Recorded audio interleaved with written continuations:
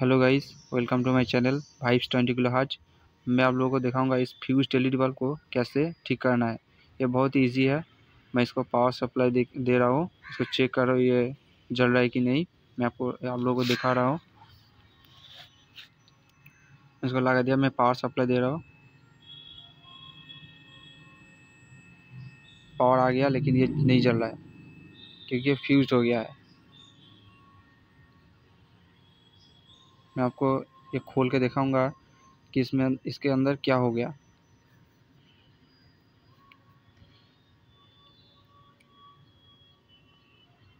मैं इसको खोल रहा हूँ। देखिए दोस्तों, यहाँ पर एक एलईडी सिंगल एलईडी फ्यूज़ हो गया। तो इस प्लेट को मैं चेंज कर दूँगा। इस डी प्लेट बाज़ार में बहुत ही कम दाम में मिलता है। इसको मैं रिप्लेस कर दूँगा तो ये ठीक हो जाएगा। मैं इसको खोल रहा हूँ। खोल के नया डी प्लेट लगा दूँगा इसके अंदर।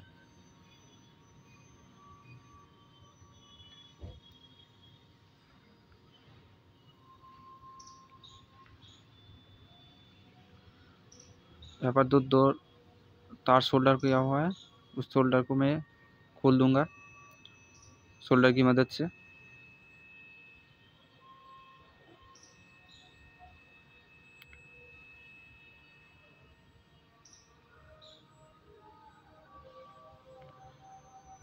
ये प्लेट हीट के ऑब्ज़र्व कर ले रहा है, इसीलिए ये खोल नहीं रहा है।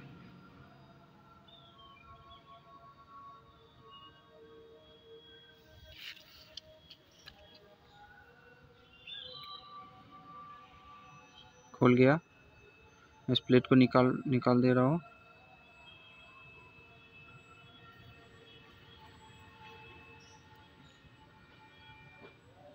एक नया डी प्लेट है।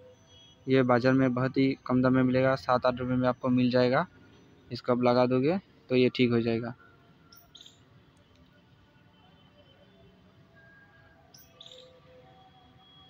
मेरे पास थर्मल पेस्ट नहीं है तो आप लोगों के पास है तो इसको लगा दीजिए तो ये बहुत अच्छा सर्विस देगा, क्योंकि हीट को बहुत जल्दी ऑब्ज़र्व कर लेगा। थर्मल पेस्ट लगा दोगे तो बहुत ही अच्छा चलेगा। बोल्ट को टाइट कर दे रहा हूँ।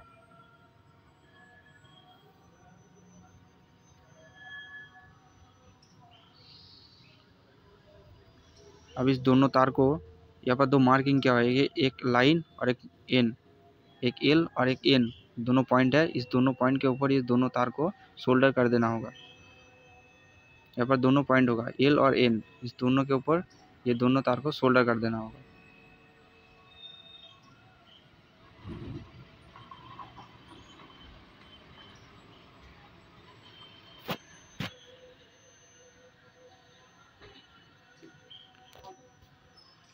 ये अच्छे से सोल्डर कर देना होगा।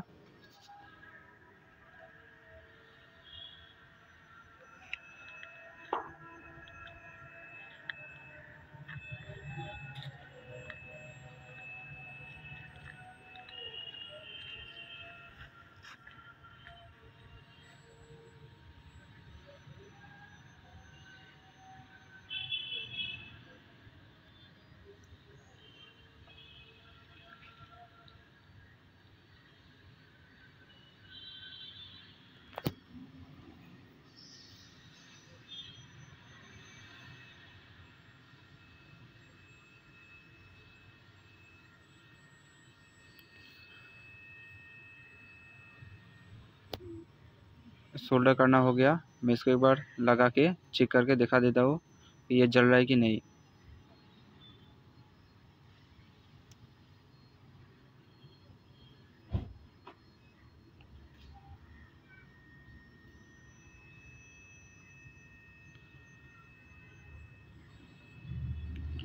अब मैं इसको पावर दूँगा।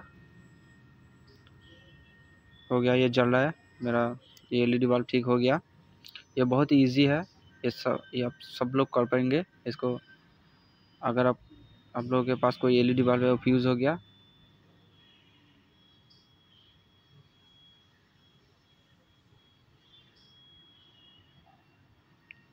Thanks for watching